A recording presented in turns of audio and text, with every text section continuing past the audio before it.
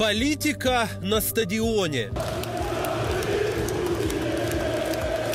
27 июля. Стамбул. Матч квалификации Лиги чемпионов. Украинская киевская «Динамо» забивает первый гол ворота турецкого Фенербахче.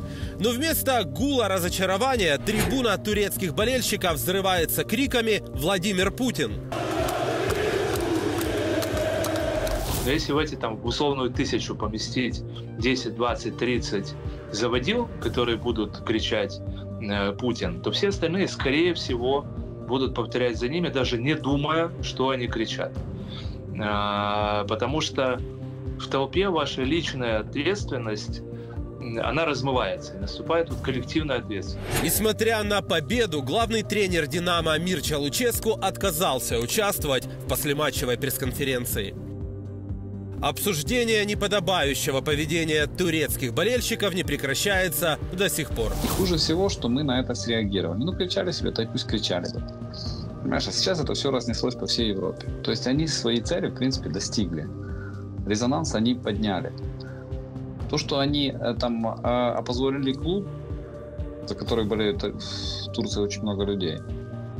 То, что они опозорили вообще футбольную составляющую Турции, это им наплевать. УЕФА уже инициировала рассмотрение дела против турецкого клуба из-за скандального поведения фанатов. Если УЕФА очень жестко накажет, тогда мы будем понимать, что больше таких провокаций не будет. Если УЕФА закроет глаза, то эти провокации будут повсеместно. Сам футбольный клуб прокомментировал скандал спустя сутки. Фенербахче заявили, что клуб не может отвечать за реакцию, которая может возникнуть на трибуне во время матча. И вообще, клуб и фанатов нужно разделять, как спорт и политику. Мы хотели бы еще раз подчеркнуть наше сообщение, которое мы передали всеми нашими официальными каналами. Война – это не храбрость, это трусость. Нет войне. Но факт остается фактом. Никто не ожидал услышать имя Путина от граждан дружественной страны. В матче квалификации Лиги чемпионов болельщики Фенербахче скандировали имя президента России Владимира Путина, а болельщики киевского «Динамо» – ВСУ. ВСУ победили Владимира Путина на турецком поле со счетом 2-1. Дали Тумаков в Турции, дадут и в Украине. Советуем турецким фанатам быть на стороне победителей. Так почему же на самом деле болельщики турецкого футбольного клуба скандировали имя президента России? Понимаем эмоции и волнения, которые испытывает каждый болельщик во время такой напряженной игры. Но никогда не поймем слова поддержки российскому убийце и агрессору, который сознательно истребляет украинцев и уничтожает нашу страну. Вчерашние неприемлемые действия некоторых фанов Фенербахче нас глубоко огорчили. Даже у футбола, который так любят в Турции, есть свои пределы. Конечно же, вероятность того, что разочарованные болельщики Фенербахче просто хотели насолить украинским футбольным фанатам, исключать нельзя. Но пользу от футбольного скандала получила Россия. На то, как эту э, историю подхватили российские средства массовой информации и пропаганды, как за эту историю уцепились российские пропагандисты, ну да, это уже однозначно сознательное волевое использование этой истории для достижения определенных пропагандистских целей. То есть они там представляют это как вот смотрите, турки поддержали кремлевского карлика. Теперь гадать, откуда растут ноги, не приходится. И смотрим на Фенербахче. А, это один из ведущих футбольных клубов Турции, насколько я понимаю. А, один из самых богатых футбольных клубов Турции. И совершенно точно, что у них большая армия фанатов. И в эту армию фанатов абсолютно без проблем могут интегрироваться какие-то там агенты влияния России, которые а, Понятное дело, что а, болельщики разных футбольных клубов, они во время матча там друг друга оскорбляют. Это вот такая как бы, традиция футбола и около футбола. А, в данном случае это оскорбление несет конкретно политический характер. То есть у него есть конкретный заказчик. Кстати, на кричалках на стадионе скандал не закончился. Фанаты турецкого клуба перешли в Инстаграм и атаковали аккаунт московского «Динамо». Под публикацией московской команды пользователи из Турции оставили около тысячи комментариев в поддержку России и президента Путина.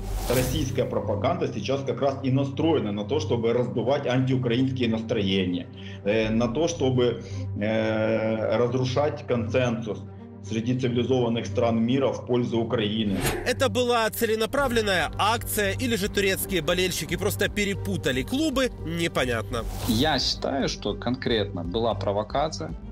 Она была подготовлена российскими спецслужбами. Они были, э, скажем так, коррумпированы несколько участников этого процесса, который называется болельщики Фенербахче. И в любой ситуации, как бы ни складывалась э, ситуация на футбольном поле, это мы бы услышали. Теперь же инцидент лично прокомментировал и глава турецкого Фенербахче Али Коч.